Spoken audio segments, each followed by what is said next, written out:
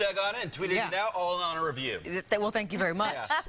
And it's to remember because this is unusual for us. Not the snow part. You know, last December we didn't have snow uh, all month long as far as measurable snow, so that's not the unusual part. Last year on this date, we were at 35 degrees. That's normal. That's where we should be at this point. But when you're looking at temperatures in the upper 50s and 60s, you're like, yeah, I want to remember this. I want to remember this when it drops down to 22 as a high temperature. So right now, just enjoy the moment, right? Temperatures at 43 as you head out the door. Winds out of the south at 7 miles per hour. That southerly wind, it's our friend, really helping us out uh, to move in that warmer air mass here. We have a few clouds this morning. I think we'll have a few clouds throughout the day, but I think we break into more in the way of afternoon sunshine, and that's why today is my pick of the week. The reason why today, uh, not only the afternoon sunshine that we'll see, not a lot, but just enough, uh, also because today is the only day that we have zero chance of rain, no rain in the forecast. We remain dry. So 43, a few clouds out there for you this morning. We'll have clouds at times, a mix of sun and clouds throughout the day.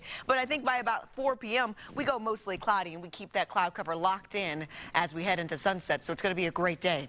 Now, as we plan it out hour by hour here, you start out at 42. A light jacket may be needed this morning. Temperatures at 54 for your lunch hour. A great lunch hour if you want to head over to Monument Circle, donate a toy. Uh, most of us will be there kind of hanging out there. 58 degrees for you and comfortable as a high temperature for today. Upper 50s in the forecast for you today. That is great. That's fantastic. That's above the seasonal normal, which is set at 41. So a long way away from that 40 degree mark. Temperatures tonight, they even stay above the seasonal daytime high temperatures in the 50s throughout the night. Uh, sunset happens at 521 this evening. Just another lovely night. Now, the atmosphere will bring us a few changes starting tomorrow. You notice the forecasting model keeping us dry. I don't think we're dry all day. I think what's happening here is that the rain is so light that it doesn't measure too much. Temperatures in the upper 50s for you tomorrow as well.